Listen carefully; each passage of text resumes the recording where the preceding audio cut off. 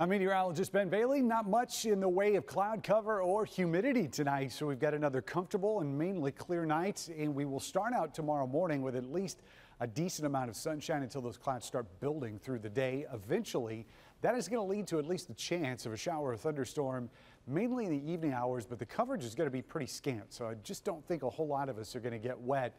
The chances get a little bit better as we get into Thursday afternoon.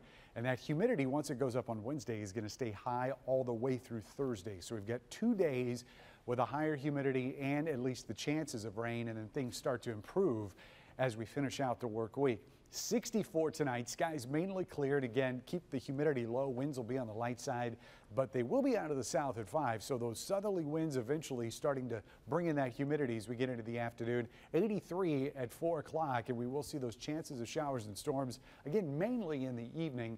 And then numbers are going to stay in the mid 80s at least through Friday, but slightly cooler numbers and definitely less humidity as we head into the weekend.